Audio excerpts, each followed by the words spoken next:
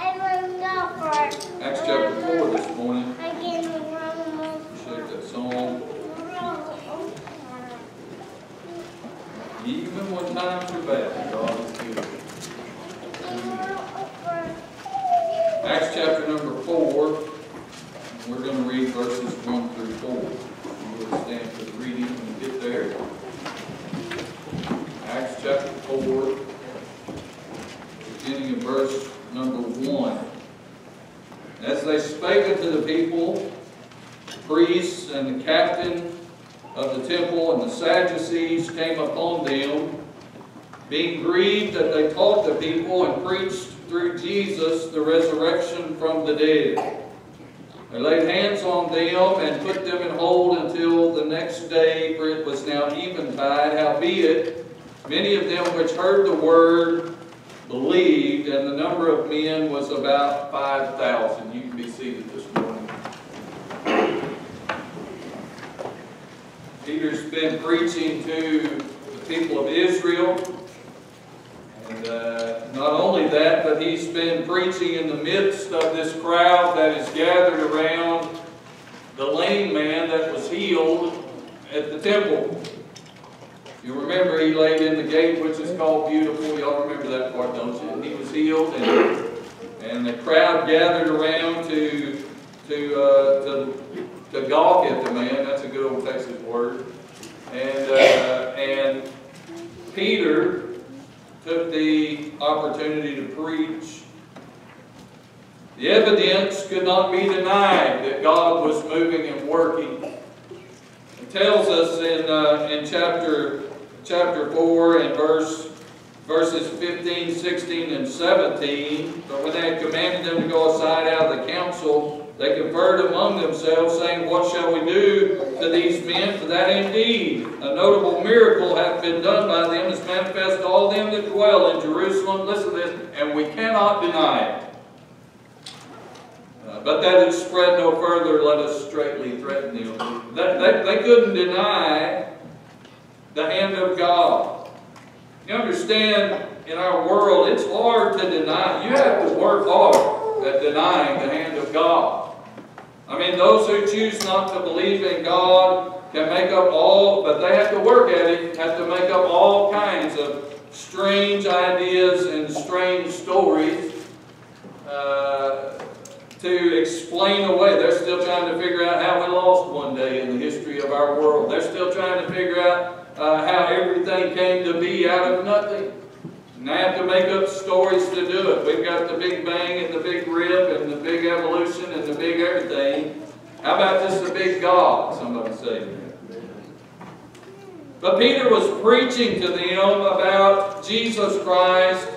And he wasn't just doing it ignorantly. He knew exactly what he was doing. If you go back to chapter 3 and look at verse number 12, uh, well, verse number 11, the people had gathered on the porch, which is uh, called Solomon's. They're gathered there to, uh, to uh, look at the spectacle, this man that has been healed. And then the very first part of verse number 12 says, And when Peter saw it, he, he saw the people gathering, and he knew that this was his opportunity to preach the gospel. Let me just pause right here and tell you this morning Believers, if you are interested in spreading the gospel, if you're interested in getting the gospel to people, you might want to know that you're probably not going to back into evangelism. You're not just going to fall off into evangelism more than likely. It's going to be something that is done on purpose. Because you decided to share the gospel with somebody. Evangelism becomes something that's systematic. It's something that you do. Uh, it, it's a testimony that you've rehearsed over and over again that you share with people and done on purpose. But can I tell you that evangelism or getting the gospel to people can get real messy, just like it did here in Acts chapter number 4. It's what we're preaching about this morning, the messiness of evangelism. Uh, it's not all cut and dry. It's not always clean and clear. It's not always easy and peaceful to share the gospel with every creature. We may have a run-in with the law. Isn't that right? I mean, we get right about it, we get serious about it, and we don't notice that too much here, but we've got missionaries far and wide. Brother Don Newland's already been run out of Vietnam once for preaching the gospel. Did you know that there were churches, I'm talking about churches in our circle, if I started calling names, I'm not going to because they're putting this on the internet anymore, but you'd know these churches that would not support him because, hey, he was breaking the law in Vietnam. Well, it's against the law in Vietnam to preach the gospel. It's against the law in China to preach the gospel. Wake up and get with the program, folks. Not every country is like America, and America's headed just like every other country. It can get real messy around here. We start talking about having run-ins with the law, just like they did in Acts chapter number 4 and those verses we just read. Some have taken exception in our world to the preaching of the gospel. I think it's interesting here to note that it was the religious world who stepped up to take the most exception to the preaching of the gospel those priests and captain of the temple and Sadducees of verse number 1. Why is it that religion, the world of religion, uh, takes exception to the preaching of the truth of God's Word and the preaching of the gospel of Jesus Christ? Well, the world of religion has contempt for those who preach the truth of God's Word did you know what we preach, what we believe, and we preach here in this uh, from this pulpit since 1903 is considered heresy by many. Uh, it may be the little lady down the street that goes to uh, the other denomination, but it doesn't change the fact that they look at the at the people of God in contempt and, and, and claim heresy upon us for what we preach and believe. You know, I've been called a heretic just because I don't believe a person has to be baptized to be saved. Well, if that's what they want to label me as, so be it. But that's the religious world we live in. They have contempt. Not only that, but there's there's the element of competition. These, these people in Israel, these religious of Israel, they did not want the Christian community rising up and offering them any kind of competition. You go down to Mexico where Brother Benito is, and there's always this ever looming contention of the Roman Catholic Church, which is the state church in Mexico, and, uh, and the Baptist missionaries and the Baptist churches that are there. I can tell you this, it's not because that Roman Catholic Church is worried about whether or not Brother Benito dies and goes to hell. They're not worried about his soul. They're worried about that money that's coming in and getting taken out of their offering plate and put in somebody else's. And then also there's the element of corruption in the religious world. These, these religious of the apostles' days, here in the first part of the book of Acts, they were a little bit worried that the Christian community would rise up and expose the truth about the false religion that they had been living in all these years. You see, there's many in our religious world today who do not want to be exposed for the false religion that they are. So they took exception to the preaching of the truth. They didn't like them. They didn't like the church. You're taking notes this morning. Number one, they didn't like their doctrine. Write this word down. They didn't like their doctrine because it was biblical. Verse number 2 tells us that, uh, that they were grieved, that they, listen to this word, that they taught the people.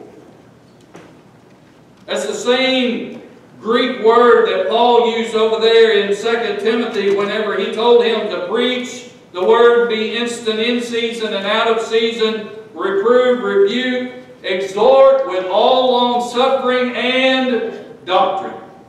Same word. You see, the apostles had doctrine. First of all, the apostles were biblicists. They were going by the Bible. They, if you read through these sermons that we've looked at that the Apostle Peter is preaching, and I think I think it's not a far stretch to say that John and some of the other ones were throwing a word in here and there too. It says they, that they taught, that they taught.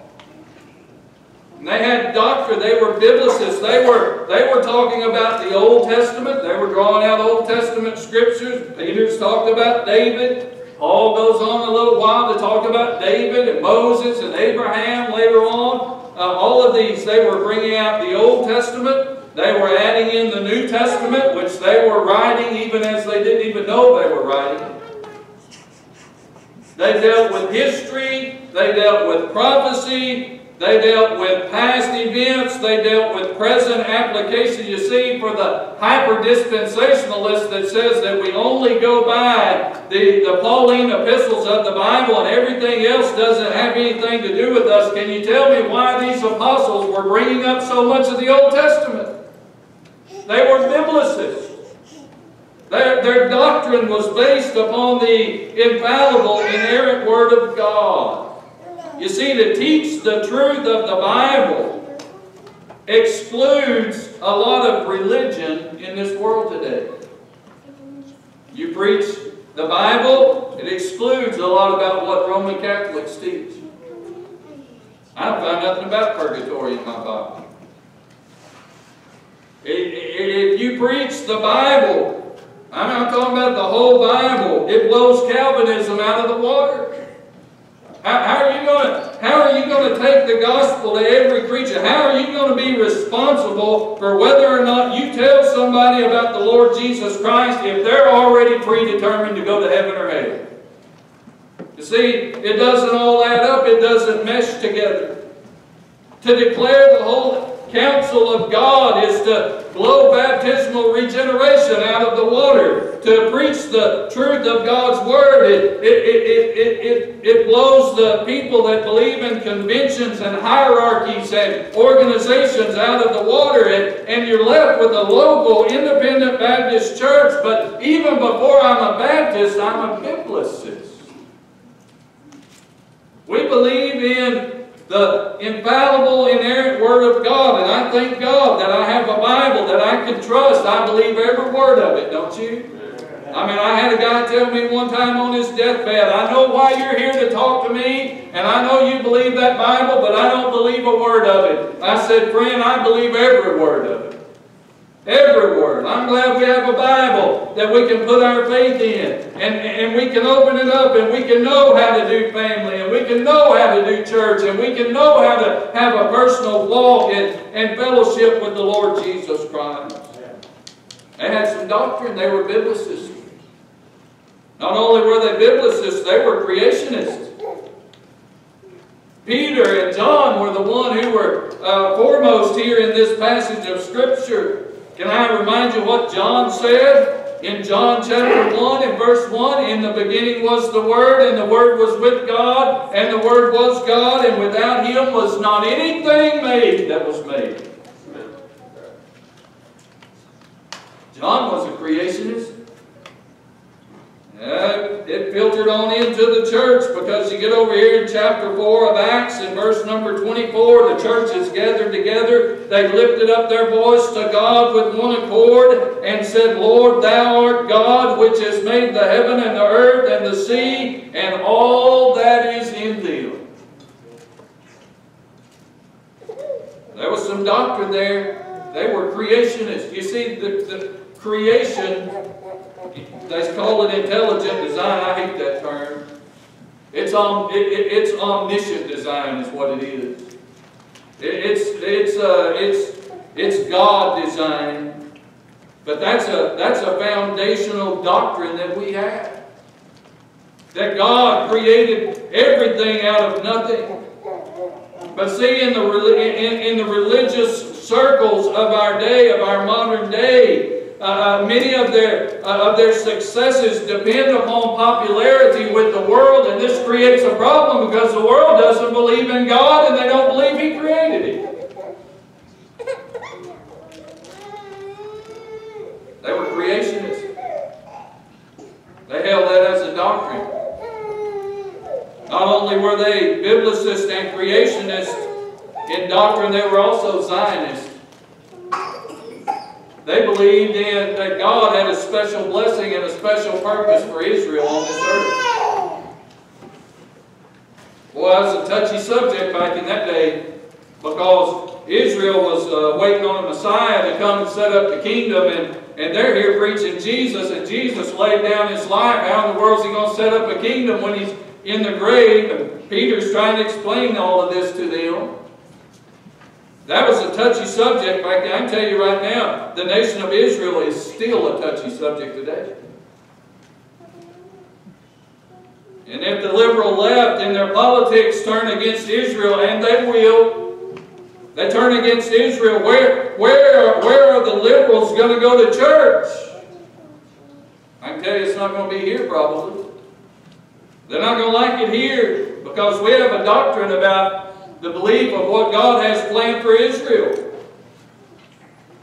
Not only that, but in doctrine they were resurrectionists. Verse number two, it grieved them that they taught the people and preached through Jesus the resurrection of the dead, from the dead.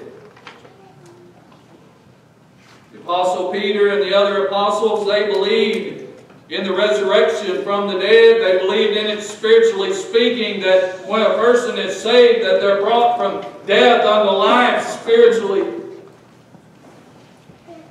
But they also believed in the resurrection physically. That one of these days that Jesus will come again and receive us unto himself. And when he comes in the rapture, that the, that, that the children of God, the, those who have died in Christ, will be resurrected from the grave and receive a new body. I don't care what the Bible critics of today say. I don't care what the Bible critics of history have said. I don't care if they believe it or not. My doctrine and the doctrine of this church is the bodily resurrection of the Lord Jesus Christ and the soon coming bodily resurrection of the people of God. I tell you this morning, my hope's in that. I about wore this body out already. I got a long time to go to live. If I'd have known I was going to live this long, I'd have took better care of myself. My hope's in that resurrection. Say, well, preacher, that's pretty far-fetched to believe that the Lord God is going to call people out of the graves and the graves are going to burst open. And listen, I believe God is able to do it, don't you? I don't care if you've been cremated or eaten by a shark or blown up with a bomb. I think God able to put it back together and change our vile bodies and, and, and, the, and the corruptible can put on incorruption in Jesus Christ. Listen, if He's able to take a black-hearted sinner and save their soul and wash them white as snow, He's able to bring us forth from the grave. They were resurrectionists. I didn't like that doctrine.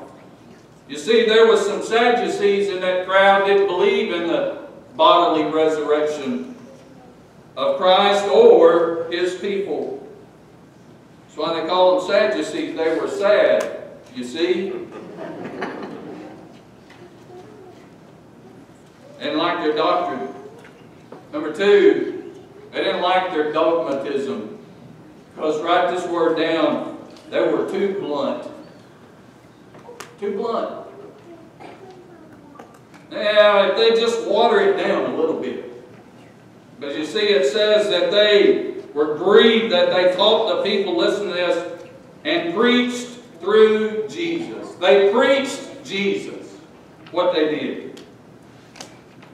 Well, that's too blunt. They just preached Jesus. Well, uh, preacher, let's let's talk about those chief priests and uh, the captain of the temple. Let's talk about no. Let's just talk about Jesus. Uh, let's talk about the Pope and the elders of this church. Or no, let's just talk about Jesus. They just preach Jesus. Oprah Winfrey would have hyperventilated. They just preach Jesus. You know, she's the one who said there must be several ways to God. They just preach Jesus. They preach Jesus Christ, the believer's only resource, only source of righteous power. Look at chapter 4 and verse number 7. And when they had set them in the midst, they asked, By what power or by what name have you done this? Talking about the healing of this lame man. Then Peter, filled with the Holy Ghost, verse number 8, said unto them, Ye rulers of the people and elders of Israel, if we this day be examined of the good deed done to the impotent man, by what means he is made whole, listen to verse 10, Be it known unto you all and to all the people of Israel, that by the name of Jesus Christ of Nazareth, whom ye crucified, whom God raised from the dead, even by him does this man stand here whole. He's our only resource of power. I mean, they, they made some pretty, pretty interesting insults against Peter and the church down in verse 13. They said they saw the boldness of Peter and John and perceived that they were unlearned and ignorant men. But Peter and John didn't even deny that. They didn't deny that they were ignorant and unlearned upon their own. They stood in the power of the Lord Jesus Christ. They were acting in the power of Christ. If there's any power in preaching today, if there's any power in personal testimony and witness today, I'm telling you, it's in the power of the Lord Jesus Christ. If the Lord be not here with us, our preaching is in vain. If the Spirit of God be not here, our preaching is in vain. Listen, the preacher doesn't claim any power upon himself to be able to convince anybody or persuade anybody for the Lord Jesus Christ. We're just sailboats. We're just waiting for the wind to come by so we can stick up our sail and get in on it. But if there's no wind, we're not going to get anywhere. They believed in the power of Christ. Not only that, but they preached dogmatically that Jesus was our ultimate source for healing in verse number 10. Be it known unto you. Be it known unto you that in the name of Jesus Christ, this man stands here whole. He's our only. Who healed this man? They said Jesus did. Yeah, but you're the one that that, uh, that, that, that, that touched him well, but it was Jesus. Jesus did. Jesus healed him. Let me ask you about you this morning. What about you when you were sick or when you were in the hospital? Who healed you? Well, you know, thank God for doctors and thank God for the pills we need and the, and the drugs we need and the resources that we have. And I tell you something, if you're on your sick bed or your deathbed and you got up, you, you better praise God for it. He's the one that brought you out of it. Not only that, but they dogmatically preach that Jesus Christ is the sinner's only means of salvation. Verse number 12. Neither is there salvation in any other, for there is none other name under heaven given among men whereby we must be saved. That's pretty dogmatic, isn't it? Well, Oprah said, surely he's not the only way. Peter said, yes, he is. No other name under heaven given among men whereby we must be saved. Well, surely you don't believe that, preacher. Yes, I do. No other name under heaven among men whereby we must be saved. Yeah. It's the sinner's only means of salvation. That's dogmatic. You see what happened here when Pastor Peter stepped up to the pulpit, diplomacy walked out the back door, and dogmatism stepped in. You understand, people get saved and the gospel goes forth when the Word of God is preached dogmatically. Whenever you preach that there's only one of two places you're going to spend eternity when you leave this world, it's either in heaven or in hell, and hopefully you're saved and spending eternity in heaven. That's dogmatic. People don't want to hear that kind of stuff dogmatic about the judgment of God, that if you die without Christ, you'll stand before an almighty God, a thrice holy God, and he'll say, Depart from me, I never knew you. That's dogmatic. Not only preaching about the wrath of God, but dogmatically preaching about the goodness of God, that He's good on the mountain, and He's good in the valley, and He's good when you're having a bad day, and He's good when you're having a good day. You see, some people, some of you heard a message on hell and, and, and ran to Jesus and got saved, but for others of you, it was a message about the goodness of God. The Bible says that the goodness of God leadeth to repentance. It needs to be dogmatic. He's good. You should have died in that accident. You should have died in your sin, but the goodness of God came by your way. He's our only means of salvation. Dogmatically, they preach that He's our only hope of resurrection. They preached through Jesus the resurrection from the dead. It's our only hope of resurrection. You understand it's not the money that's spent on a funeral. That's our hope of getting out of that grave. It's not the sermon that's preached over us when we die. Uh, that, that, that's our hope of coming out of that grave. It's not the cemetery that you're buried in. Or, or the flowers that are planted there, or who comes to visit your. None of that has anything to do with it. Friend, if you're not saved, you're not coming out of that grave in the rapture. You'll come out of it just in time to be at the white throne judgment, be cast into hell for eternity. Our hope of resurrection is found in placing our faith and trust in the Lord Jesus Christ. He's our only hope. Well, it just wasn't so dogmatic. Number three, they didn't like their determination. You write this word down, they were a little bit too bold. They saw the boldness of Peter and John, it upset them. If, if, they, if the preacher, if the people of God just weren't so determined, they were determined, first of all, that they were going to preach the truth of God at all costs. Verse 2, they preached through Jesus the resurrection from the dead. I think, I think they had an idea what that was going to stir up. And then in verse, uh, verse number 20 of chapter 4, uh, Peter said, We cannot but speak the things which we have seen and heard. They were determined that they were going to preach the truth of God's Word. We need to get today to where we can say we're going to preach the truth of God no matter what. We're going to preach it in church. We're going to preach it on the streets. We're going to preach it from house to house. If I go to jail, I'm going to preach it. They can kill me. I'll preach it till they do. The church can run me out of this pulpit and I'll preach it somewhere else, but I'm going to preach the truth of God's Word. Yeah, but if it just wasn't so dogmatic and determined, so preachy, they were determined to get the gospel in the ears of people. Chapter 4, verse 4 Howbeit many of them which heard the word. That was their idea. They, they wanted to get the word. Peter knew exactly when he saw the crowd gathering. Back in chapter 3, he knew this is my opportunity to get the word to them. He was determined to get the gospel in their ear. Chapter 4, verse number 17. Uh, it uses that word spread that it spread no further. That was their determination. They wanted to spread the gospel of Jesus Christ. And then the church gets in on it, it gets behind it, down in verses 29, 30, and 31.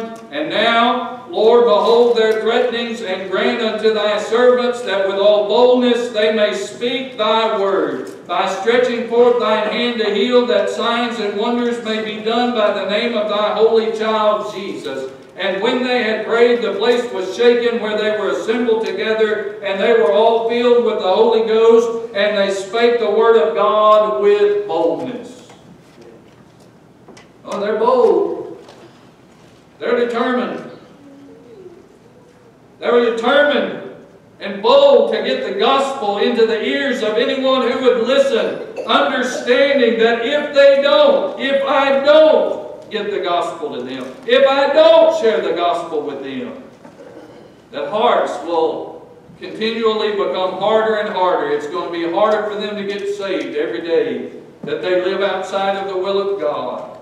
Opportunities are going to pass for them to hear and understand the gospel. Possibly people will die and go to hell if I don't preach the gospel.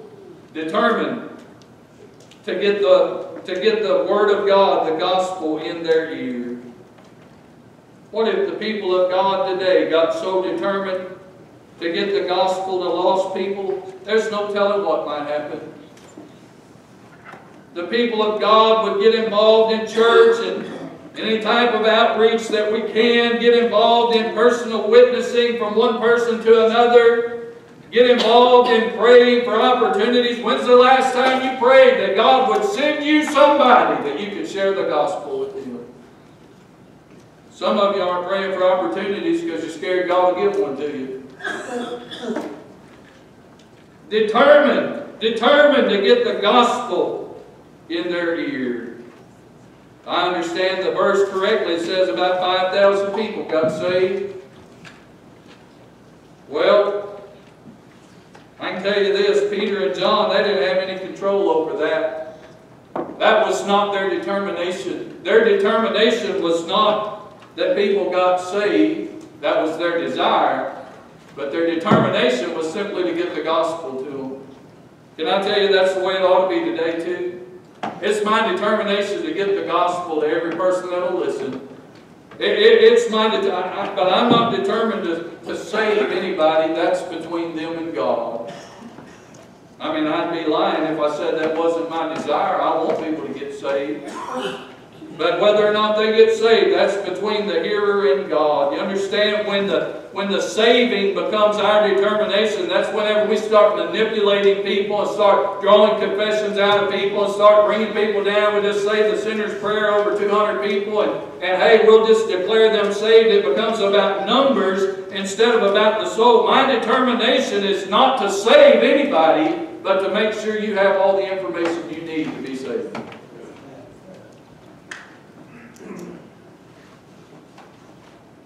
So I tell you one more time this morning, you're not saved.